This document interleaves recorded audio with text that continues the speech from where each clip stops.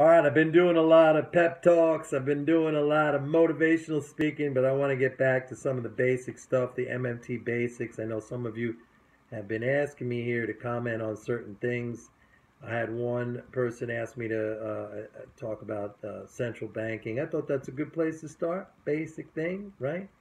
So let's talk about uh, the Fed, central bank. By the way, a lot of people have, um, you know, the wrong understanding of central banks, their function, a, a flawed understanding of monetary policy, of open market operations, that sort of stuff. So let's start with that. First thing, Fed is a bank, just like any other bank, and banks lend. That's what they do. They lend money. So the Fed can lend open ended, but it lends against collateral. When it lends to banks in the Federal Reserve System, uh, those banks have to post up collateral. And that usually means uh, treasuries, government securities, but all assets that banks carry on their books, those are regulated, pre approved assets. The government, the Fed itself, and the Office of the Comptroller of the Currency, they, they, they tell the banks what uh, assets they're allowed to have, and those assets are all uh, can all be used as collateral against Fed loans at some particular discount rate. Okay, now, it's interesting because back in the financial crisis in, in 2008, after Lehman failed, uh, and I was always saying at the time, you know, this is not going to amount to anything because the uh, subprime as a percentage of the mortgage market was tiny, man. There's no way it should have blown up the mortgage market, let alone the whole freaking economy of the whole world. There's no way that should have happened if the correct response was applied. So people who are out there saying, "Oh, we called the crash, the market, housing market crash," they're wrong because they just got lucky.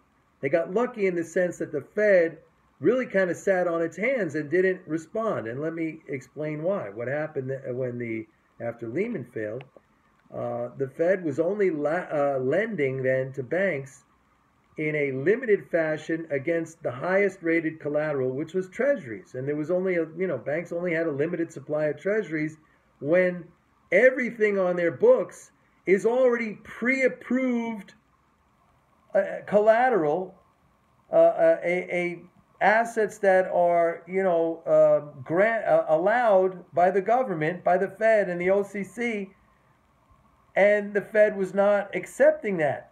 It took Bernanke about four to five months. By that time, the, the, the little brush fire had spread into you know a huge conflagration, bringing threatening to bring everything down, really. But then the Fed started to lend on an open ended basis, unlimited in an unlimited fashion. All collateral was acceptable, and the whole thing stopped. Okay. So the Fed could lend any amount of money, but you have it has whoever it lends to has to post up collateral.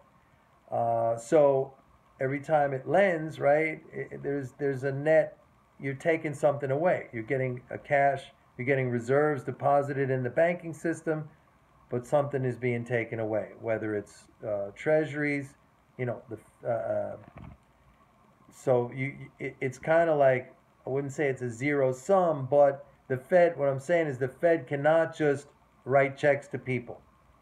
Treasury can, if Congress approves that. If Congress said every American gets a million dollars, Treasury could send a check of a million dollars to everybody. It's not going to happen Unfortunately, or maybe fortunately, because it would be uh, highly inflationary, probably, but um, the, the Fed cannot do that.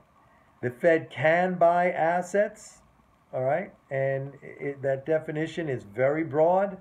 If you look at the uh, Federal Reserve Act, it basically can buy anything it wants. It could buy uh, old shoes. And, and by the way, it could pay any price it wants for old shoes. Again, that's not going to happen, but it could. If it wanted to pay a million dollars for every pair of old shoes that it can buy, it can do that. So you see, the Fed also has price setting, has a price setting function. Um, in its purchase of assets, it sets the price. When it buys treasuries up, up, up, higher, higher, higher, it brings the interest rate down lower, lower, lower. That's how it sets interest rates lower. Now, if you believe that price setting is an effective way to regulate output and employment, then I guess you are a big believer in the Fed's ability to quote unquote stimulate. I happen to think that that's really open for discussion, and I think there's much more effective ways, direct ways, such as the government can employ people, the government itself can uh, engage the private sector in the creation of real wealth, infrastructure, education, healthcare, alternative energy, transportation systems, all these things. You know, if you look at what happened under uh, Eisenhower in the 50s, the interstate highway system, everything we have, everything, the clothes you're wearing, came to us by truck that rolled over the interstate highway system that was paid for by government printing money. So, an incredibly valuable uh, capital formation there by money printing.